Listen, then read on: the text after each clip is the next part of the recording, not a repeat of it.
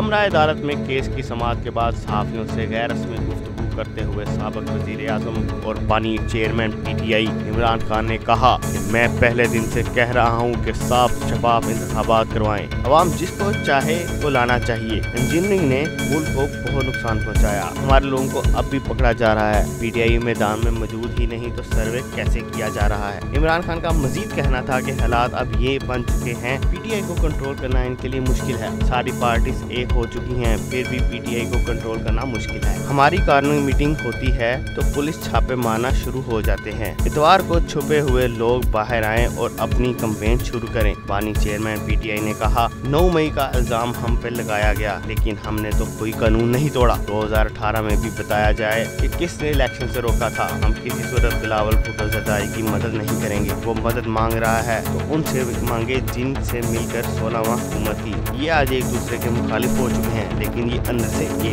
है। खबर अजा, एक मिलियन पाउंड करप्शन केस की समाप्त के दौरान जज से मुकालमा करते हुए चेयरमैन पीटीआई ने कहा कि ये सारा ड्रामा आठ फरवरी के लिए किया जा रहा है। अगर ये ड्रामा करना है तो आठ फरवरी के बाद कर लें। इमरान खान ने कहा कि तोशा खाना में नवाज़ शरीफ और आसफ जरदारी को तेरह फरवरी की तारीख की गई। मैं रोज सुनता हूँ कि एक के बाद एक केस बनाया जा रहा है। नवाज़ शरीफ और आसफ जरदारी के केसेस भी रोज रखे ताकि काम जल्दी मुकम्मल हो। आठ साल पुराना केस तेरह फरवरी को रखा गया, जबकि चार साल पुराना केस रोज रखा जाता है।